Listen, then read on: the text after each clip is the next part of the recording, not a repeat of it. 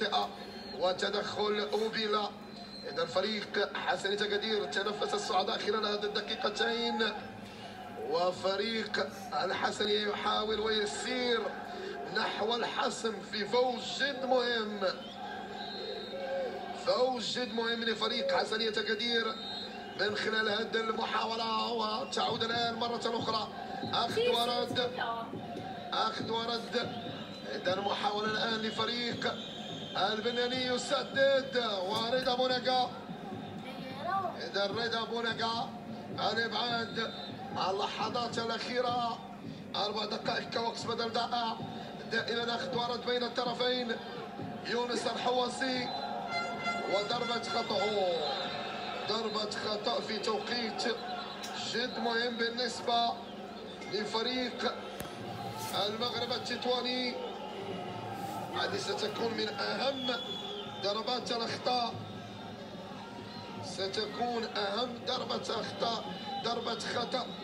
خلال المباراة زهير نعيم زهير نعيم كيرفع الكرة عالية.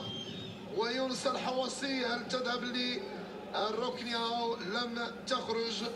وبالتالي دائما بسعين وتماس إذا الفريق.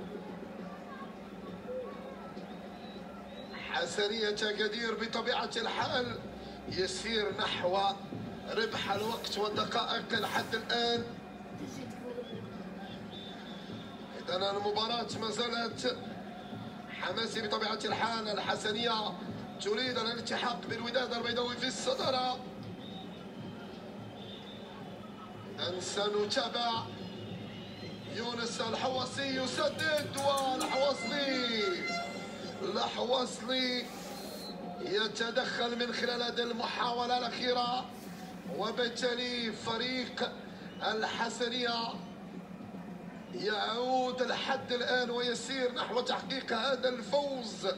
الذي يمكن أقول بأنه فوز جد مهم وسيكون هو الفوز السابع.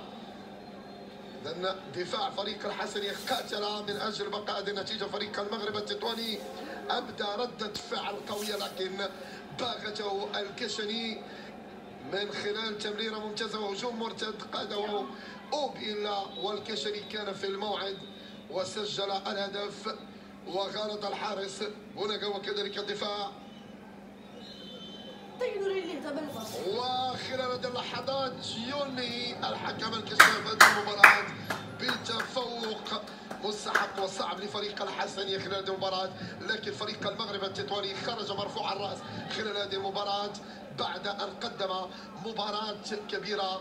حاول العودة في النتيجة لكن المهم هو أنه الفريق المغرب التطواني قدم جرأة كبيرة وشخصية كبيرة في العودة وسجل هدف ولكن لم يكن كافي أمام استبسال آه، فريق الحسنية إذن هنيئا للحسنية بالفوز وهنيئا للمغرب التطواني بهذا العرض. وبالتالي يمكن أقول الحسنية حصلت على ثلاث نقاط ولكن كذلك فريق المغرب التطواني أبدى شخصية آه، كبيرة في العودة في النتيجة وبالتالي أعتقد لا خوف على فريق المغرب التطواني هذا الموسم. نظرا لما يقدمه من عروض وكذلك دون أن ننسى فريق الحسني يقدم نفسه كأحد الأندية التي ستبقى وتصارع من أجل البقاء في الصدارة. ونتمنى الحظ سعيد في المنافسات كان السعاد أنا فريق مشاهدينا الكرام أشكركم على حسن المتابعة.